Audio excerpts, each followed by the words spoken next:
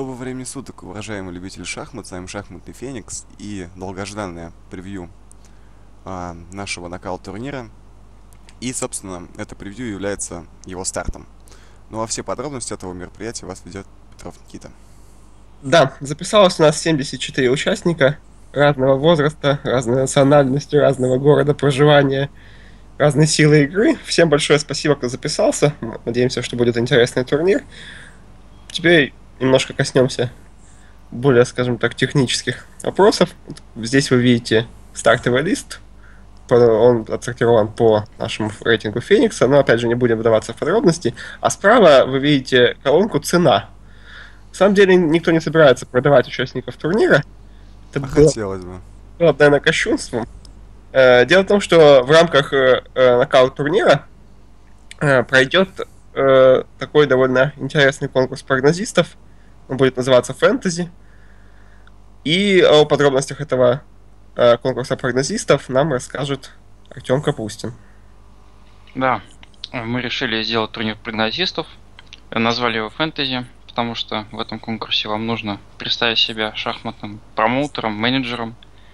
И в условиях ограниченных денежных ресурсов ну, вам нужно собирать команду мечты. А именно, вам нужно на 35 миллионов монет, условных единиц, без разницы, э, набрать 5 шахматистов, которые, по вашему мнению, в сумме выступят наилучшим образом. Нужно выбрать э, ровно 5, а не, скажем, 3 сильнейших и закончить на этом формировании команды. Нет, нужно ровно 5. Ну, наверное, стоит добавить и рассказать о том, как будут именно начисляться очки в этом турнире, Артем? Ну, мы решили сделать начисление очков таким образом, что за проход участника любого из раундов, вплоть до финала, участник получает одно очко. Ну и... Да, и, соответственно, Будем... ваш... да. ваша команда тоже получает одно очко за проход одного из участников вашей команды в следующий раунд. И тот участник конкурса прогнозов, чья команда из пяти шахматистов в итоге наберет больше всего очков, побеждает, собственно, э, в этом фэнтези-турнире. А в случае дележа э, приз, о котором расскажет нам Кирилл Широков, будет разделен поровну. Итак, а, ну а небольшим сюрпризом для вас, я думаю, станет а, небольшой, небольшое финансовое вложение от нашей группы, а точнее от Андрея Таскаева. Андрею большое спасибо. И, собственно, целых 300, ребята, это великолепная сумма, сумма, целых 300 рублей получит победитель нашего турнира. Так что выбираем команду, а, берем Кирилла Широкого, обязательно я принесу вам много очков. Никиту не берите, это мертвый. Так, ну, ну и... Еще, еще расскажу о пару тонкостях. Ну, первое, наверное, самое главное, что нету ограничений в плане участия в этом турнире. То есть абсолютно любой участник группы, даже не участвующий в нокауте, может принять участие в фэнтези-турнире. Также любой участник нокаута может поучаствовать в турнире прогнозистов, и более того, он может взять самого себя. Ну и вторая тонкость это в том, то, что у этого конкурса нет дедлайна, и очки вашей команды будут вестись с того момента, как только вы подадите заявку. То есть, например, если вы захотите взять тех, кто прошел два раунда и после этого на них э, собрать команду, то очки, которые они набрали до этого, вы не получите. Да. И, ребята, по поводу цены тоже не стоит обижаться. Это, собственно, так субъективное мнение администрации и одновременно судей этого турнира. То есть э, никому не стоит обижаться. То есть э, это все средние арифметические значения, то есть именно наших, наших, как лучше сказать, наших, наших мнений. Вот. Ну и, собственно, уже, наверное, пора приступить к сетке. Это долгожданный момент, когда вы сможете узнать соперников, и мы расскажем о том, каким именно способом будет проходить наш турнир и как, а, собственно, вы будете играть. Ну а Никите, Никите Петрову, Петрову передаю слово. Да, как вы видите, вот сейчас в моем браузере открыт сайт с довольно трудно переводимым названием. Можно на неправильно написанное слово challenge. Однако сайт очень хороший предназначен для создания вот таких вот турнирных таблиц, турнирных сеток. И здесь вот на моем экране вы видите нашу турнирную сетку. У нас 74 участника, поэтому Кирилл, скольки, скольки парам придется играть вот предварительный раунд? Шести, по-моему, или пяти. Ну, больше много. Да, десяти действительно. Э, ну, собственно, вы можете в данной сетке найти себя. К данному видео мы обязательно приложим э, прямую ссылку на этот турнир, если вдруг вы еще не открывали эту сетку. Также в самом конце записи данного видео мы торжественно запустим турнир. Э, ну что еще можно сказать? А, нужно сказать о том, как именно а, формировалась эта сетка, и, наверное, Артем Капустин нам об этом расскажет. Ну да, расскажу об этом. Ну, всего, как вы знаете, уже 74 участника. Конечно, был бы в идеале, что был бы 64 или 128. Но ввиду того, то, что число участников такое некрасивое, то придется провести первый раунд, который будет нести квалификационный характер.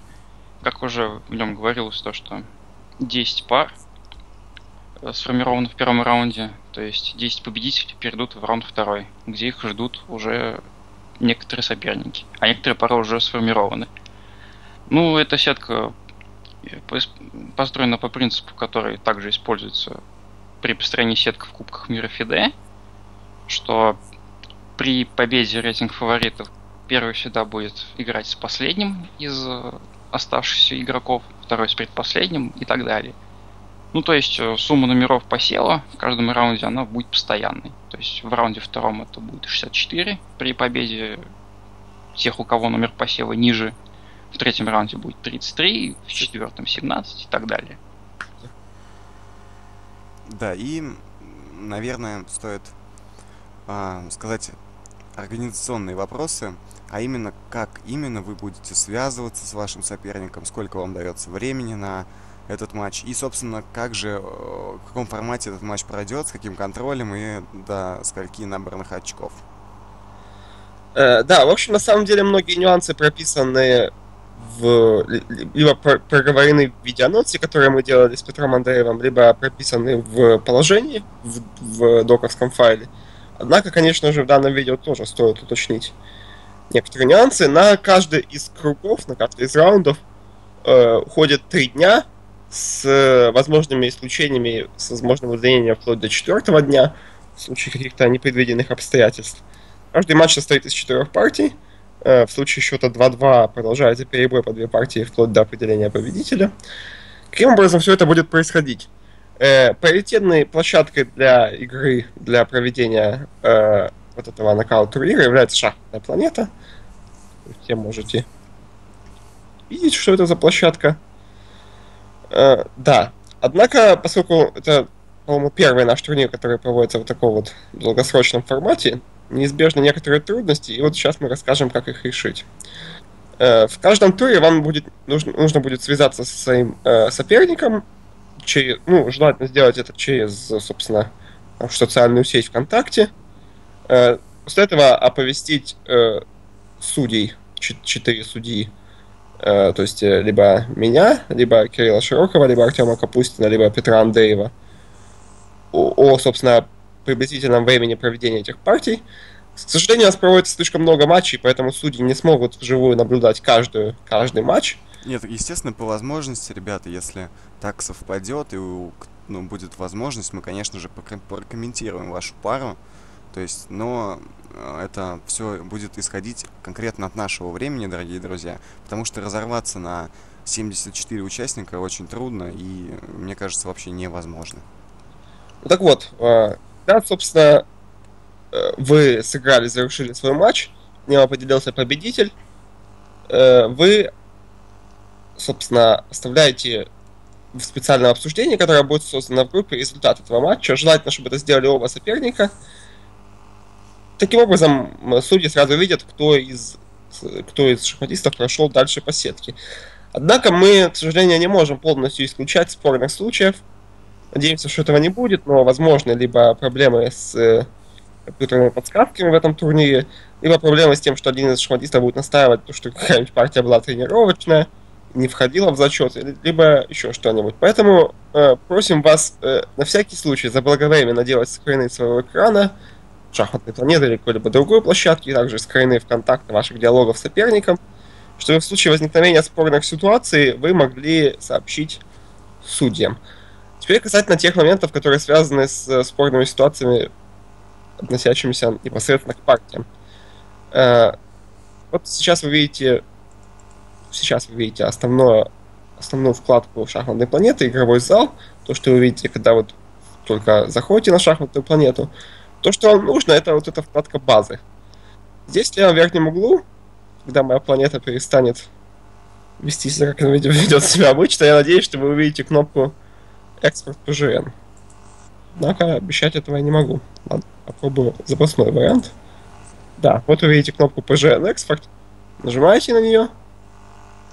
И таким образом вы можете сохранить все свои партии, сыгранные на планете, на шахматной планете, э, в формате PGN. Как видите, я делал это целых пять раз. И в том числе там будут самые последние партии, которые относятся к нашему нокауту. Если были какие-то спорные моменты, вы просто посылаете этот PGN-файл с четырьмя партиями, или с шестью, или с восемью, в зависимости от того, сколько долго продолжался матч, э, администрации, то есть судьям. Мы совещаемся вчетвером и выносим какое-то решение по вашей проблеме. В общем, суть в том, что если вы хотите доказать свою правоту, собирайте как можно больше доказательств этой самой правоты. Это сильно облегчит нам работу и повысит объективность. Да, собственно, по-моему, практически все мы рассказали. И что мы забыли упомянуть? Мы забыли запустить турнир торжественно. Кажется, мы забыли упомянуть, что Евгений Новиков... Да-да-да, про Евгения. Номер посева нашего турнира, он провел достаточно обширную пиар-компанию для нашего турнира в своей группе «Шахмат-канал», за что ему спасибо. Без него этот турнир, я думаю, был бы не так интересен, собрал бы намного меньше участников. Ну, ну еще хотелось бы ответить на один вопрос, который теребит очень много участников. Что делать, если матч закончился в трех партиях? Играть ли четвертую? Можно даже, ну да, там 2,5 на 0,5 тоже подойдет.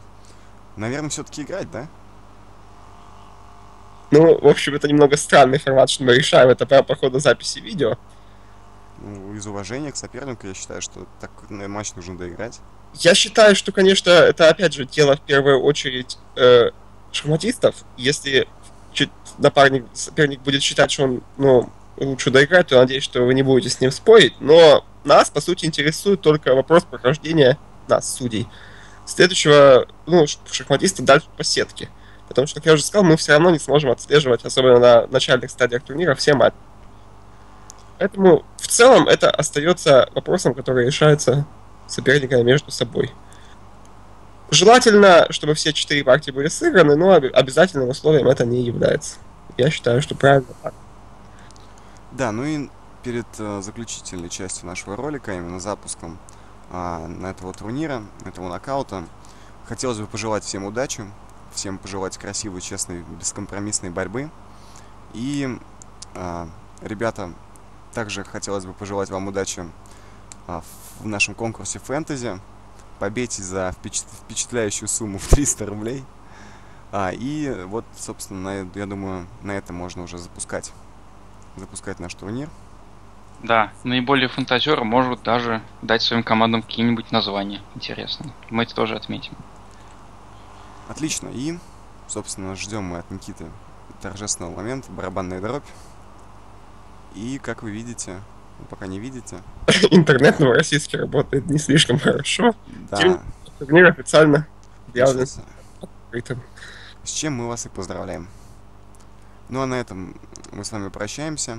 До новых встреч.